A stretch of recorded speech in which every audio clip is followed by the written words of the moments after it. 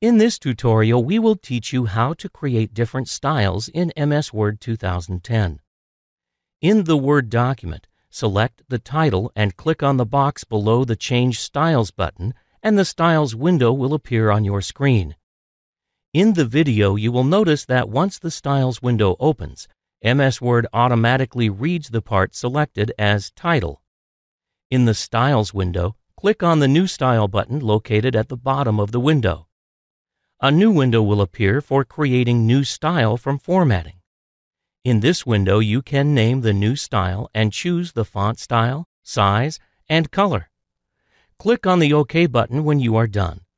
Once you are through with the settings, it can be applied to any heading or title in the future. Furthermore, in the Formatting Style box, check the options Add to Quick Style List Automatically Update you can choose whether to apply the style in the current document only or in the new documents based on this template. Click on the OK button once you have made the appropriate changes and the style will be added to the Quick Style list. Next, open up a blank document and type in a word. Select the word and go to the box located right below the Change Styles button in order to open the Styles window.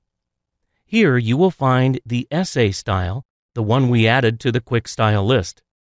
You can see that the style will be applied to the selected word.